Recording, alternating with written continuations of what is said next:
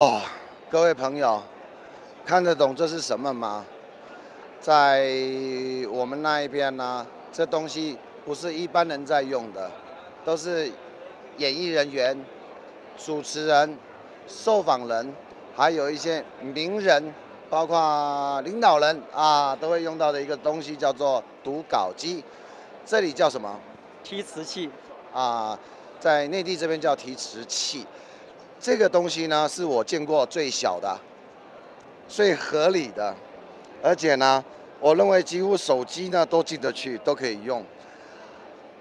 我路过它，不小心瞄到它，我就被它给吸住了。果然，我这个停留是正确的，因为告诉大家几个概念：做直播、做网络拍卖的直播、做节目、做采访。不管你是主持人还是受访者，务必要让讯息传递正确。你在那边胡说八道、乱讲一通，弄到最后剪接剪的乱、剪的半死，最后还要重拍，何不一开始就做正确？因此，读稿机呢，就是事前把这些事情做好，让受访者能够准确的表达，而不要有太严重的失误，创造最大的受访价值跟节目制作的一个。效效率，如果没有读稿机这个东西呢，你要他背稿，我的妈呀，那还得了？不太可能啦，哎，又不是访问小朋友，小朋友好不好？咱们年纪要背稿不太容易。那么你要他胡说八道，弄得后面呢，造成一大堆问题的时候再来处理，甚至于重拍，就把正确做对。这个读稿机呢，叫做提词器，呃，型号叫 T 一。呃，我们那边叫 T1，啊，那么 T1 读稿机呢，现在出现在这个地球上，存在的一个是叫做什么东西？这一片玻璃。这片其实叫做单反，这个单面镜其实就是单反的一个单单反面，就是它不是像镜子一样完全的反，它是还有带一定的。透光过去，然后同时也要把字反射到这里。对，跟大家分析一个重点哈，各位你可以看到这些字，照理讲镜头在拍的过程当中，这些字要出现在荧幕上面。读稿机为什么在过去很贵？其实有一点 know how 在。你看，这是结果，完完全全没有出现文字的干扰跟反射。这就是读稿机的价值。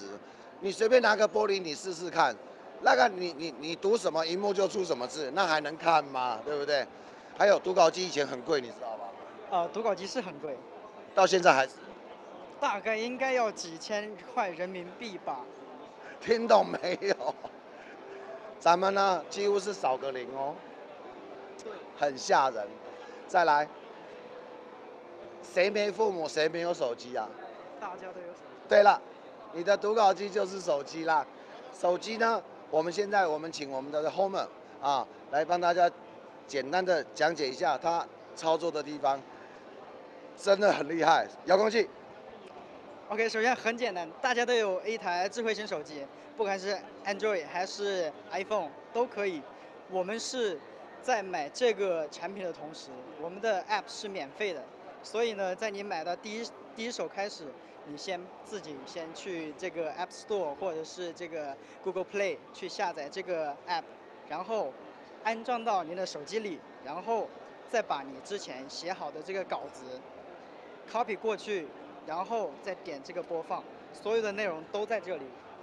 然后这个至于这个运行呢，首先第一有遥控器可以搭配，暂停播放都可以用另一个呃 remote 去控制它。也可以在这里有一个 menu，可以控制这个速度，还有这个镜像，就是这个反转，就是因为这个是镜面的原理，所以呢，字体在正的时候，其实这里是反的，所以你要把它给反过来。然后还有这个背景跟字的颜色也是可以调整的，就根据这个每个人的这个不同喜好去设置。对。当然了，它的小跟巧。还有装载呢，充分的让一个单兵作战的世界实现的更加的完整。你没有可能一个人单兵作战背个读稿机出去，那在过去那个叫痴人说梦。你背了你就饱了，你还做事嘞？你要加他你就烦了，你还想干摄影师吗？当然不想喽。这这产品呢，基本上很快速的装，应该是有个 mount 了哈，转接环转上去之后扣上去，然后再把手机搭上去，就这么简单。通常不要脑弱都可以操作。不需要这个具体的这个教程，直接你一看到就大概知道。首先就是这个啊提提词器跟这个镜头要去这样卡进去，然后再把这个手机也卡进去，就是这样两步很简单。好的，这来自于哪一家公司的产品？呃，来自深圳市百雀电子有限公司。我完全听不懂他讲的讲的那个名字，但是我还是哦，百视瑞。哦，一百两百的百电视的电，电视的视，喜悦的悦，百视瑞，深圳公司。那么这个家公司呢，做 monitor 的。好，我们谢谢我们的 home 哈，接受我们的访问。遥控器麻烦一下，遥控器。好啦，不要，我我有我原本是打算回台湾再秀的啦，那直接就把这个这厉害的家伙呢，就给你亮亮相了，好不好？好，请说明一下。这个遥控器是通过这个蓝牙去连接，连接之后，这个键，这个按键是控制这个播放和暂停的。然后控制手机耶。对，是控制手机这个播放暂停，你按一下就是播放。如果你觉得不 OK，要 NG OK，暂停，然后你再重新搜扫自己的一个表情，然后再重新来，这样也是 OK 的。然后如果你的语速跟这个内容达不上，你可以说减慢一点，因为有些人可能说语速有点慢，所以你可以减慢一点。当然，有些讲话很快的话，你也可以去加速，甚至说你觉得说这一段我不想要，我卡掉，那行。直接就下一页，或者是讲错了，那就上一页；没讲错想跳过下一页，下一页都 OK 的。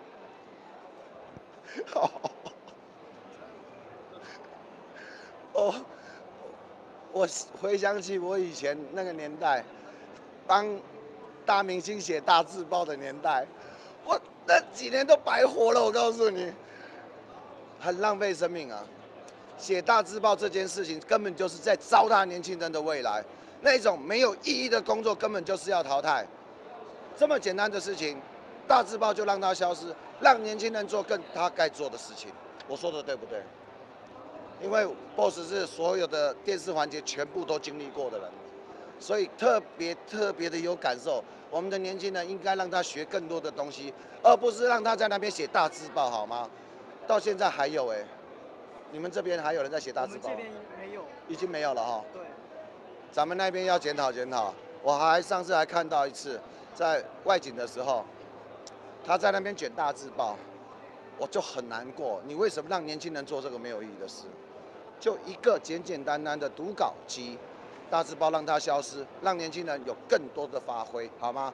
在这边谢谢百事月，哎呦，我记起来了，谢谢 Home，谢谢谢谢。